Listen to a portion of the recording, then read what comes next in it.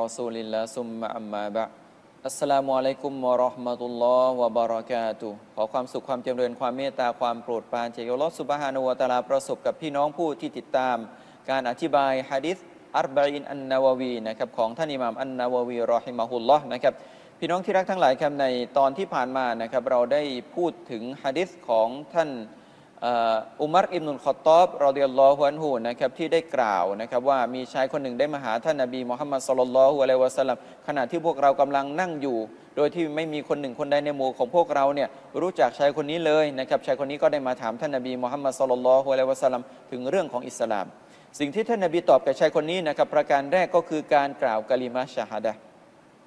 أن تشهد أن لا إله إلا الله وأن محمدا رسول اللهคือการกล่าวกะลิมะชาดะนะครับว่าไม่มีพระเจ้าที่ควรแก่การอิบาดะอื่นใด นอกจากพระองค์อัลลอฮ์سبحانه وتعالى และท่านนบีมุฮัมมัดสุลลัลลอฮุอะลัยวะสัลลัมนั้นเป็นรอซูลของพระองค์อัลลอฮ์สุบฮานะฮูวะตาลา ประการต่อมาประการที่สองวะตุกีมุสซอลาก็คือในเรื่องของการดำรงการละหมาดนะครับซึ่งเป็นสิ่งที่เราได้อธิบายไปแล้ว วันนี้มาสู่ประการที่สามนะครับวะตุทิยซะกานะครับก็คือการจ่ายสกาด พี่น้องที่รักทั้งหลายครับ การจ่ายสกาดนั้นถือว่าเป็นหนึ่งในหลักการของอิสลามสำหรับบุคคลผู้ที่มีเงื่อนไขที่ครบในสิ่งที่ศาสนากำหนด แสดงว่าในเรื่องของสกาดนั้นนะครับไม่ได้ถูกบังคับแก่บรรดาบุคคลผู้ที่เป็นมุสลิมทุกคน แต่เรื่องของสกาดเป็นสิ่งที่พระองค์ลอสุบฮานะฮูวาตาลากำหนดให้กับบุคคลผู้ที่ครบตามเงื่อนไขที่ศาสนาได้วางเอาไว้ ซึ่งเงื่อนไขที่ว่านี้ก็มีสองประการด้วยกัน ประการที่หนึ่งนะครับก็คือการครอบครองในสิ่งที่เป็นทรัพย์สินเหล่านั้น ครบรอบปี และเงื่อนไขประการที่สองนะครับก็คือจำนวนหรือปริมาณของทรัพย์สินที่ครอบครองเนี่ยถึงเกณฑ์ที่ศาสนากำหนด นั่นก็หมายถึงว่าเมื่อใดก็ตามนะครับที่เราครอบครองในสิ่งที่เป็นทรัพย์สิน แต่ยังไม่ครบปีเนี่ย เราก็ไม่จำเป็นที่จะต้องนำมาคำนวณในการจ่ายสกาดของเรา และเมื่อใดก็ตามนะครับที่ทรัพย์สินที่เราครอบครอง แม้ว่าจะครบปีแต่ไม่ถึงเกณฑ์ที่ศาสนาได้กำหนดได้วางเอาไว้เนี่ยเราก็ไม่จำเป็นนะครับที่จะต้องนำทรัพย์สินเหล่านั้นมาจ่ายสกาด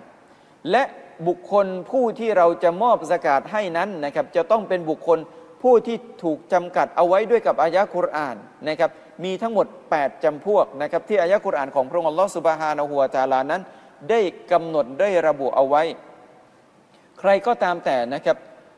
ที่ละทิ้งหรือหลีกหลีกเลี่ยงจากการจ่ายสกาดถ้าเขามีองค์ประกอบที่ครบเท่ากับบุคคลนั้นนะครับกำลังกระทำในสิ่งที่เป็นการฝ่าฝืนต่อคำสั่งของพระองค์อัลลอฮฺสุบฮานาหัวตาลาและมีหนำซ้ำนะครับ ถ้าคนนั้นปฏิเสธการจ่ายสกาด หรือปฏิเสธฟัรดูนะครับหรือบทบัญญัติของการจ่ายสกาด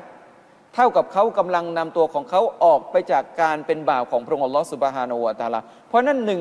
บรรดาหลักการอิสลามที่ท่านนาบีมุฮัมมัดสุลลัลฮุอะลัยวะสัลลัมได้กล่าวเอาไว้เนี่ยถือว่าเป็นสิ่งที่มีความสำคัญ ถ้ามุสลิมคนหนึ่งคนใดเนี่ยขาดหนึ่งในหกประการที่ว่านี้เนี่ยนะครับ มุสลิมคนหนึ่งคนใดขาด ในสิ่งที่ท่านนาบีมุฮัมมัดสุลลัลฮุอะลัยฮิวะสัลลัมได้กล่าวเอาไว้ ปฏิเสธว่าไม่ใช่ฟัรดูไม่ใช่สิ่งที่เป็นวาจิบ นั่นก็คือการที่เขากำลังออกจากศาสนาอิสลาม เพราะนั้นสิ่งที่เป็นประการที่สามก็คือในเรื่องของการจ่ายสกาดสำหรับบุคคลผู้ที่ครบ ในสิ่งที่เป็นเงื่อนไขที่ศาสนาได้วางเอาไว้ ประการต่อมาท่านนบีมุฮัมมัดสุลลัลฮุอะลัยฮิวะสัลลัมได้กล่าวต่อไปนะครับว่าวาตาซูมารอมาดอนะ คือการถือสิรดในเดือนรอมฎอนการถือสิรดนะครับคือการระงับจากการกินการดื่มและสิ่งที่ทำให้เสียศีลอดนะครับ ตั้งแต่เมื่อรุ่งอรุณปรากฏขึ้น จนกระทั่งดวงอาทิตย์ลับขอบฟ้า นั่นคือเวลาของการถือสิรดและการถือสิรดนั้นนะครับมีทั้งการถือสิรดที่เป็นสุนัตการถือสิรดที่เป็นสุนัตเนี่ยอย่างเช่น การถือสิรดในวันจันทร์วันพฤหัส การถือสิรดในวันที่ 13 14 15นะครับทางจันทรคติ การถือสิรดในวันอาชูรอ การถือสิรดในวันอารอฟะสำหรับบุคคลผู้ที่ไม่ได้ไปประกอบพิธีฮัจการถือสินอดนะครับวันเว้นวัน สิ่งต่างๆ เหล่านี้เนี่ยก็เป็นการถือสินอดในสิ่งที่เรียกว่าเป็นสุนัตหรือภาคสมัครใจ แต่สำหรับบุคคลผู้ที่เป็นมุสลิมตามนัยยะฮะดิษบทนี้ของท่านนาบี หมายถึงการถือสิรดในสิ่งที่เป็นวาญิบ หรือในสิ่งที่เป็นฟัรดู การถือสิรดในสิ่งที่เป็นวาญิบหรือฟัรดูนั้น ก็คือการถือสิรดในเดือนรอมฎอน เดือนรอมฎอนนะครับจะเป็นเดือนที่อยู่ระหว่างเดือนชาบานกับเดือนชาวานนะครับเมื่อใดก็ตามที่มีการเห็นจันทร์เสี้ยวของเดือนรอมฎอนบุคคลผู้ที่มีความสามารถไม่ได้อยู่ในสภาพของผู้เดินทาง หรือไม่ดีอยู่ในสภาพของผู้ที่มีอุปสรรคนะครับจำเป็นสำหรับเขาจะต้องถือสินอดถ้าหากว่าเขาบรรลุนิติภาวะแล้ว แต่ถ้าคนยังไม่บรรลุนิติภาวะนะครับการถือสินอดก็ถือว่ายังไม่ใช่เป็นภาคบังคับสำหรับเขา แต่ถ้าเขาถือสินอดเขาก็ได้รับผลบุญการตอบแทนจากพระองค์อัลลอฮฺสุบฮานะฮูวาตาลานะครับการถือสินอดนั้นจะเป็นวายิบเฉพาะในเดือนรอมฎอนนะครับอาจจะเป็น 29 หรือ 30 วัน เพราะนั้นการถือสินอดพี่น้องที่รักทั้งหลาย ไม่ใช่เพียงแค่การอดน้ำอดข้าว แต่การถือสินอดคือสิ่งที่พระองค์อัลลอฮฺสุบฮานะฮูวาตาลาได้ประทานลงมา เพื่อที่จะซักฟอกจิตใจของบรรดาบุคคลผู้ที่เป็นมุสลิม ให้มีความรู้สึกนะครับ เอื้อเฟื้อต่อบุคคลอื่น ต่อเพื่อนมนุษย์ของเขา ให้มีความรู้สึกนะครับในการเป็นบ่าวของพระองค์อัลลอฮฺสุบฮานะฮูวตาลาคือการที่เขายอมในการที่จะละทิ้งในสิ่งที่ฮาลาลนะครับการกินการดื่ม การหลับนอนกับภรรยา ถือว่าเป็นสิ่งที่ฮาลาลแต่เขาสามารถที่จะละทิ้งในสิ่งที่ฮาลาลเหล่านี้ได้ เพื่อเป็นการปฏิบัติตามคำสั่งของพระองค์ลอสุบฮานาอูตาลา นั่นก็หมายถึงว่าเขากำลังขัดเกลาตัวของเขาเนี่ยให้สามารถที่จะละทิ้งในสิ่งที่ฮารอม ในเมื่อสิ่งที่ฮาลาลเนี่ยเขาสามารถจะละทิ้งได้ สิ่งที่ฮารอม สิ่งที่พระองค์ลอสุบฮานาอูตาลาห้าม มันก็ง่ายสำหรับเขาในการที่จะละทิ้งนะครับ ดังนั้นเองเนี่ยอายะกุรอานที่พระองค์ลอสุบฮานาอูตาลาได้ พูดถึงภาคผลของการถือศีลอดในเดือนรอมฎอนเนี่ยพระองค์ลอสุบฮานาอูตาลาใช้คำว่าละอัลละกุมตัตะกูล เพื่อที่พวกเจ้าทั้งหลายนั้น จะได้มีความตักวา มีความยำเกรงสำรวมตนต่อพระองค์ลอสุบฮานาอูตาลา แสดงว่าเป้าหมายของการถือศีลอดพี่น้องที่รักทั้งหลาย ไม่ใช่เพียงแค่การอดน้ำอดข้าว